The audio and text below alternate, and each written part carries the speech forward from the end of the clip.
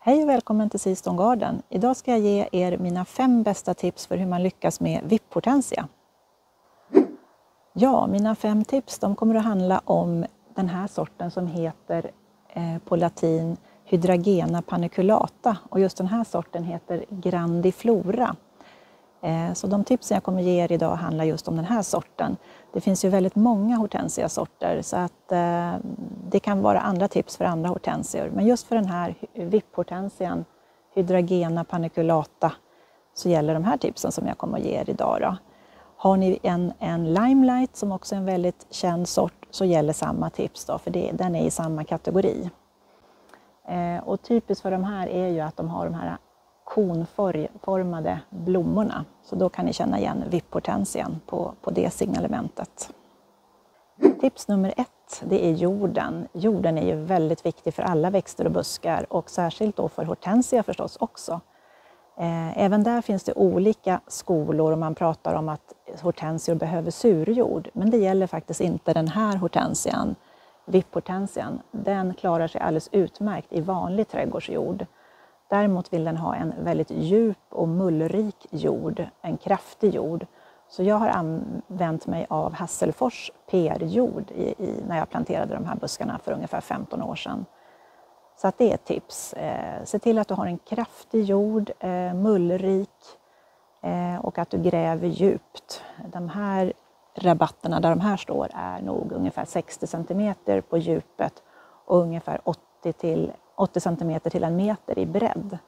Så att den behöver mycket och kraftig och djup jord så kommer du att lyckas. Ja, tips nummer två det är vatten. Hortensian vill ha väldigt mycket vatten.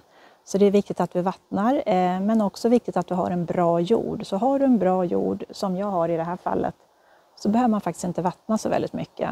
Eh, men är det långa torrperioder och väldigt varmt på sommaren så behöver du vattna.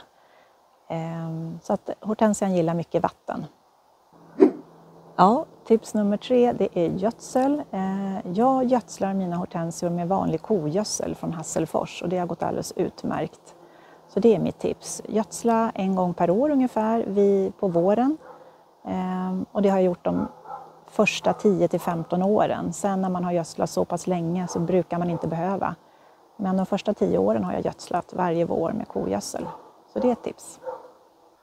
Ja, tips nummer fyra det är solläge. Vilket solläge vill en hortensia ha? Ja, den här sorten, Grandiflora, den vill ha mycket sol. De här får säkert 6-7 timmar sol varje, varje dag. Eh, ni kanske har hört talas om att hortensian inte gillar sol, att den ska stå i, i skuggiga partier och det gäller andra hortensier, men inte de här vipphortensierna. De trivs tvärtom med väldigt mycket sol. Så får de mycket sol och mycket vatten så blir de så här fina och kraftiga. De blommar också mer eh, om du har dem i, i mycket sol. Du kan också ha dem i halvskugga och de kommer att blomma men kanske inte riktigt lika mycket och lika stora blommor. Så att det är ett tips. Vill du ha stora blommor eh, så se till att du har dem på ett soligt läge men också att du har väldigt bra jord och fuktig jord. Tips nummer fem handlar om beskärning. Eh, det är viktigt att du beskär dina hortensior. Vipphortensian beskär du på våren eh, eftersom den blommar på årsskotten. Så det är ingen fara, du skär inte bort några blomknoppar, det behöver du inte vara orolig för. Utan de här blommorna de kommer fram på nytillväxten som har vuxit här nu på, på våren och försommaren. Så jag brukar beskära den någon gång i mars, februari, mars, april. Det beror lite på, på väderleken. Men när du ser att det börjar komma små, små begynnande skott, då kan du klippa den. Eh, och då brukar jag klippa ungefär en tredjedel, tar jag bort av hela buskens höjd. Jag kommer göra en separat video i vår sen där jag visar exakt hur jag klipper så kan ni få mer ingående tips då. Men tips som sagt var att, att beskära den för då får den en fin form och det stimulerar också till att du får mer blommor.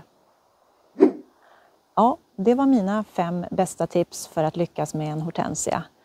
Eh, och som ni hör så, så hänger ju allting ihop. Eh, jordmån, vatten, solläge, hur du klipper den och så vidare.